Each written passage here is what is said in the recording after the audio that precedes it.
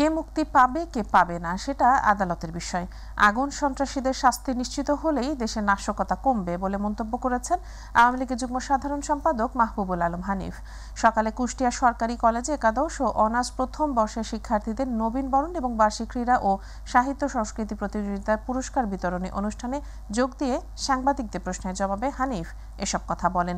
এ সময় হানিফ আরও বলেন, নির্বাচনের পরে আওয়ামী লীগকে সাংগঠনিকভাবে শক্তিশালী করতে তৃণমূল পর্যায়ে দলকে ঢেলে সাজানো সহ কোথাও কোনো বিরোধ থাকলে তার সমাধানের কর্মসূচি চলছে। তারা পুলিশকে পিটিয়ে হত্যা করা, প্রধান বিচারপতির বাসভবনে হামলা করা, ভাঙচুর করা, বাসে, ট্রেনে হরতালের নাম করে অবরোধের নাম করে আগুন দেওয়া, মানুষকে পুড়ে হত্যা করা, এই ধরনের ঘটনা যাতে ভবিষ্যতে না ঘটে, সেই কারণে প্রকৃত অপরাধীদের বা এই সমস্ত ঘটনার সঙ্গে যারা জড়িত, যারা নির্দেশদাতা প্রত্যেকের আইনের আওতায় এনে কঠোর শাস্তি নিশ্চিত করতে পারলেই দেশে এই ধরনের এই সন্ত্রাসী কর্মকাণ্ড আস্তে আস্তে বন্ধ হবে।